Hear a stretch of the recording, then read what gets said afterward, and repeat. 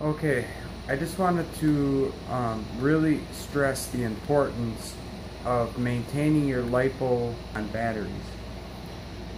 It's very important. When you get them new, they should be in a storage mode. It's kind of just basically like halfway. That's what they should be at. And when you're not using them, you need a professional charger to put them in storage mode or at least a charger where you can set where you want the voltage and capacity to be because voltage and capacity are two different things. And a lot of people don't realize that. And what happens is say you charge up your battery okay? Fully charged it says it's done. You put it in the quad and I don't know the winds pick up for a few days and you let it sit. Then you're thinking ah I'll throw it back on the charger and top it off, you know, because could have lost some power. But when you do that, normally nickel metal hydride and nickel cadmium batteries um, are known for that remembering or remembrance. They will remember that last bit, little bit of energy or capacity you put into that battery at the end there. That's not, LiPos can do that too. A LiPo will not reach its full um, potential until at least around 10 full charge and discharge cycles. When you get to 10, the LiPo is at its full capacity, you know, full potential. It will be, you know, giving you the best power. Perfect example. Here's my professional charger. I have the H109S X4 Pro battery here and this is the H501S OEM battery. This was the new one that I just ordered. Now I just just I discharged them both last night okay? So what you can do is on this particular um, thing here on my charger is you can go to extra function. You can measure the internal resistance of the cells. Why don't we do that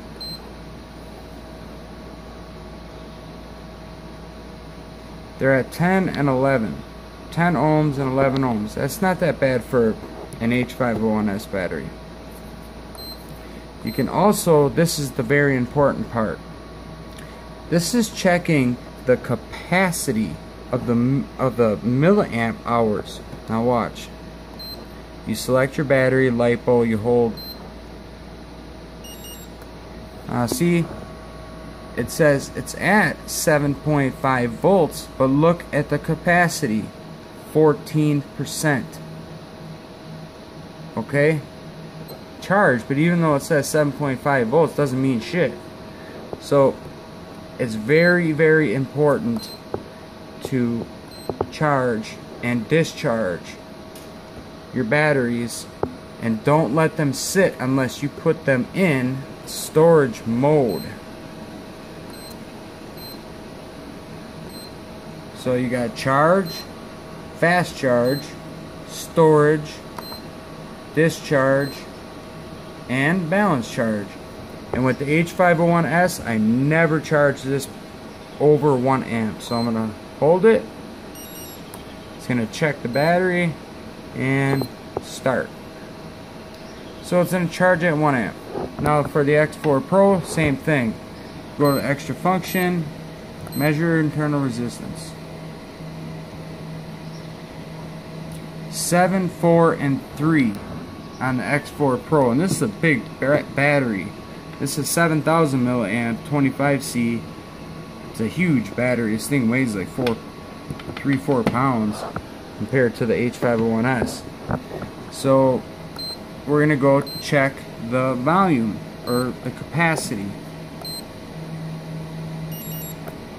14%. Even though it's at 11.1 volts, it's only 14% charged because I discharged it with make sure you have a professional charger if you want your lipos to last. Charge fully discharge. If you're not going to be using it select the storage mode.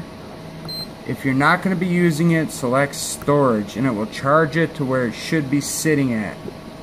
So it's very important to charge and discharge your batteries. Otherwise you will get premature swelling, ballooning, all sorts of stuff. And also the quad will not act right when you have certain amounts of capacity that are just flying out. But I want to balance charge this at 4 amps. This is a huge battery. And you'll see that now down here is the actual capacity being put into the battery. So we're at 2 minutes and 36 percent you know that's milliamp hours right here. So for the H501S never charge above 1 amp. Never. The reason being it's only a 10C battery even though it's 2700 milliamp hours so you would think 2.7 it's got such a low discharge rate it needs to be charged slow so she's charging at 4 amps and I just wanted to show you the importance of charging and discharging your batteries or putting them in storage mode when not in use. Okay guys, so the batteries have been charging.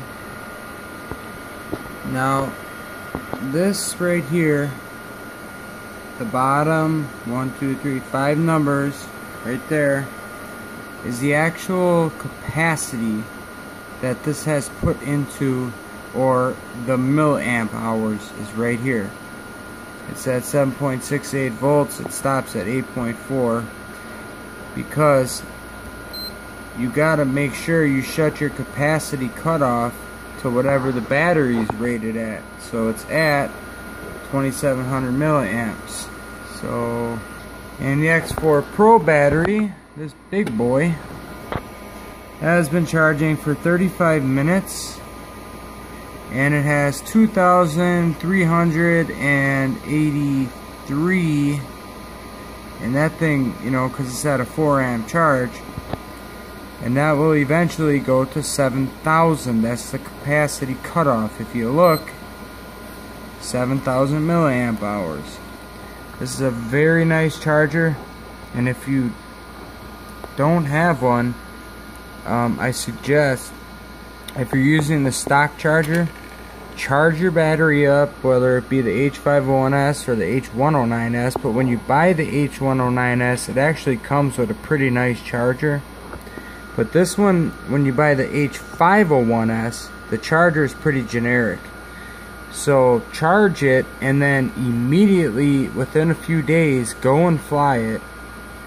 And then if you're not gonna fly it for maybe a week or so, you got to get it back in storage mode. So you'd have to use a multimeter. You know, it's almost impossible to tell because of the voltage because you're not seeing the actual capacity that's being put into the batteries that you can with a professional charger. So this will stop when this gets to 2700 milliamps. So what this does is it uses this microprocessor to keep it from going to 8.4 before it gets to 2700 milliamps. It makes sure the battery is fully charged. It doesn't just ram voltage in there because you need the milliamp. Eh, so this one will stop, you know, the end voltage for any 3 cell should be 12.6 and that's where it's going to stop but it won't stop until there's 7,000 milliamps in here. And if it detects a problem it will automatically stop. Okay? Just another very important thing you should know about LiPo batteries. Capacity is what you need to worry about. Just because the voltage says something does not mean that the battery is fully charged basically Okay? Thank you.